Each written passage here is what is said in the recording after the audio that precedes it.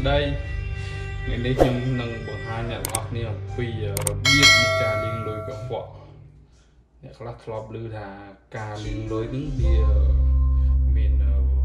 ប្រវត្តិការយ៉ាងម៉េចអញ្ចឹងឥឡូវនេះខ្ញុំនឹងបង្ហាញអ្នកទាំងអស់គ្នាអំពីរបៀបនៃការលាងលុយកខ្វក់អូខេអញ្ចឹងទស្សនាទាំងអស់គ្នាអូខេអូ ខេឥឡូវនេះខ្ញុំនឹងបង្ហាញអ្នកទាំងអស់គ្នាអំពីរបៀបនៃប្រតិបត្តិការលាងលុយកខ្វក់សម្អាតសាច់ប្រាក់កខ្វក់ថាគេធ្វើម៉េចតោះទស្សនាអស់គ្នាលើនេះខ្ញុំមានលុយប៉ុណ្នេះហើយខ្ញុំចាប់ដើមប្រមូលយកទៅលាងគេលាងរបៀបម៉េចចាំមើលអស់គ្នា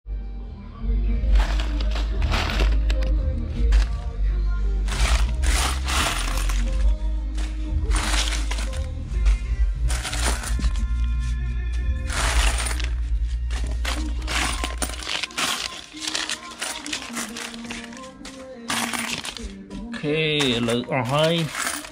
នៅស្កកាក់មកនេះខ្ញុំគិតគូតាមក្រោយអូខេនេះយើងបានលុយប៉ុណ្នេះអូខេឥឡូវយកទៅលាងអស់គ្នាន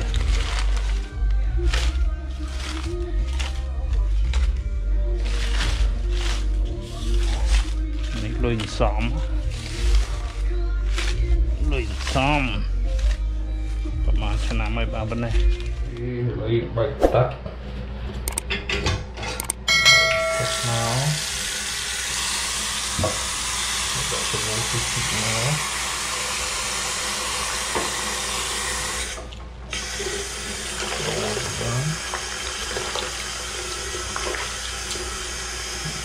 Okay. And it's actually gold. 60ទេសម័យគឺសម័យខូចអត់ហើយសម័យខូចអានេះវាងដងតិចដងតិចខ្ញុំនឹងស្គាល់វិញមកអូខេបន្ទាប់ពីលាងហើយយើងយកមកហាល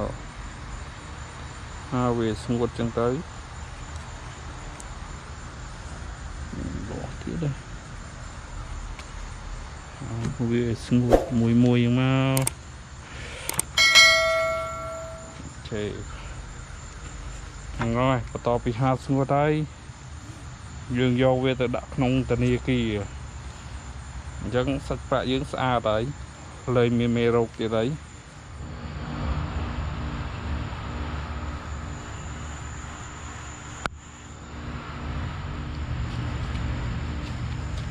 ពេលយើងស្អាតហើយ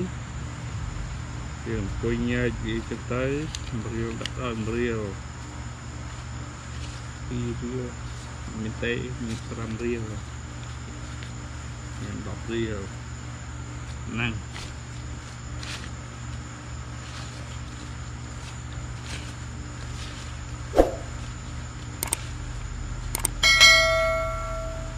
ទុកពីច្រើនពេកមេរោគ អូខេឥឡូវលុយបានលាងសម្អាតហើយអស់ហើយហើយរាប់ទៅបានឃើញ600ដែរមិនសមឡើងមួយឆ្នាំអូខេជើងមានតែប៉ុណ្្នឹងឯងគុណ